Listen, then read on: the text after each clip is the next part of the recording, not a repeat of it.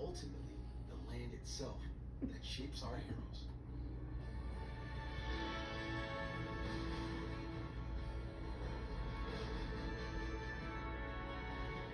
Just look deeper into every corner of.